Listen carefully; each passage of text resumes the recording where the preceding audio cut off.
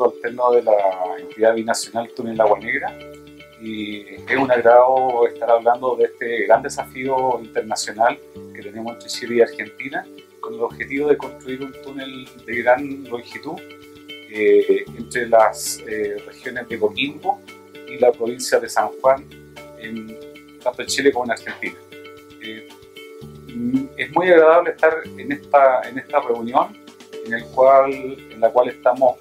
preparando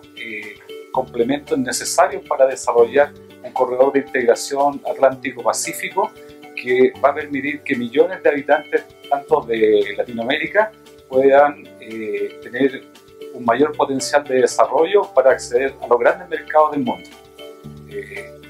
la labor que está realizando el, grupo de trabajo tanto de San Juan como de Coquimbo muy importante porque al generar un programa territorial eh, relacionado con el proyecto Túnel Agua Negra, está haciendo un desarrollo complementario fundamental para estructurar un desarrollo que sea sostenible y adecuado para fortalecer el gran desafío que se está implementando.